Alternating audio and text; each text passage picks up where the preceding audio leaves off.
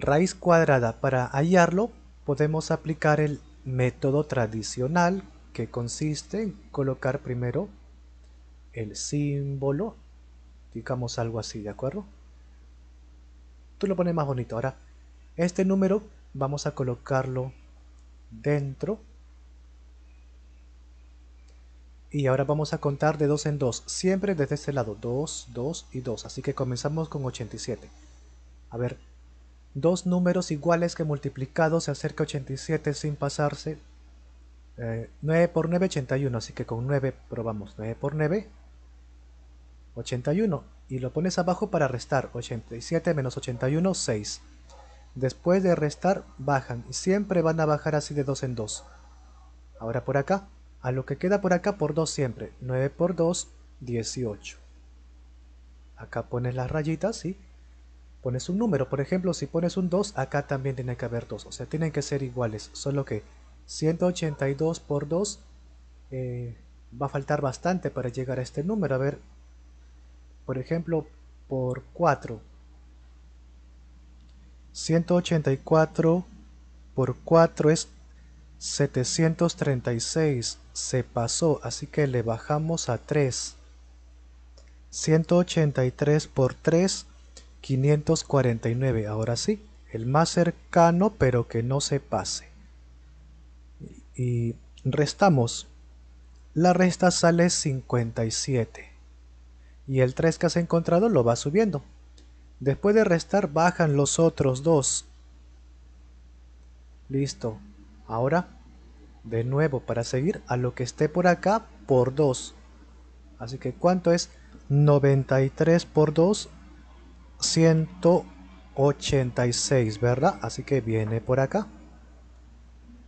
Y por acá, otra vez las rayitas para buscar el número. A ver, por ejemplo, 5. A ver, ¿qué pasaría? 1865 por 5, 9000 y tanto se pasó, ¿verdad?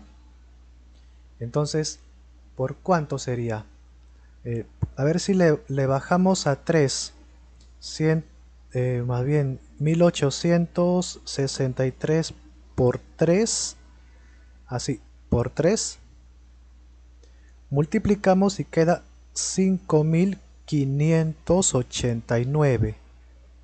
O sea, no sale exacto, ¿verdad? Pero vamos a restar a ver cuánto resulta. 131. Y este 3 que hemos encontrado lo subimos arriba. Y como ya no hay número que baje, ahí termina, pero está terminando con un residuo, ¿verdad? Listo, entonces este número, ¿cómo se puede escribir? Lo que quedó por acá que es 933 con exponente 2 más el residuo. Esta operación sale este número, ¿verdad? Claro, porque 933 elevado a la 2, ¿cuánto resulta? Resulta este número que estoy escribiendo. Y si le sumas esto, o sea, lo que estoy haciendo, esto es la comprobación, ¿de acuerdo? comprobación. Ya está. Si sumamos estos números, eh, ¿cuánto quedaría? Va a quedar exactamente lo que está arriba, ¿verdad? Esto es la comprobación de que todo el procedimiento está bien. Entonces la raíz cuadrada es 933, pero con residuo 131. Así lo puedes colocar, ¿de acuerdo? Pones aquí.